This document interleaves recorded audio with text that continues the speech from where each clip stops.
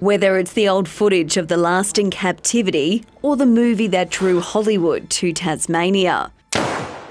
People around the world know of the long extinct thylacine. What if you could find out that using the DNA in museum specimens and fossils, maybe up to 200,000 years old, could be used to bring species back? Work is already underway to de extinct one long lost creature.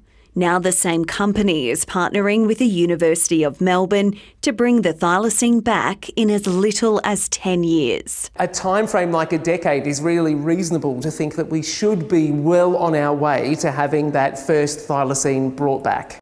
Genetic sequencing and reproductive technology like IVF will play an important role, as will this little guy, the fat tailed Dunnart possibly soon a surrogate for the Tasmanian tiger. When people say this is playing God, I say that, you know, we do this all the time. We play God all the time. We certainly played God when we exterminated the thylacine. This could also help other marsupials like the koala, which are vulnerable to natural disasters like bushfires.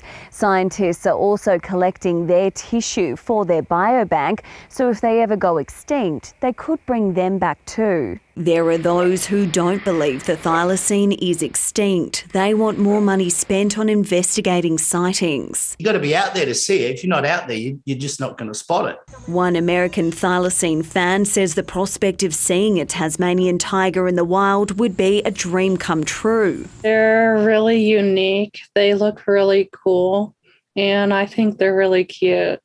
Until then, she's content to settle for the next best thing. Liz Gwynn, ABC News.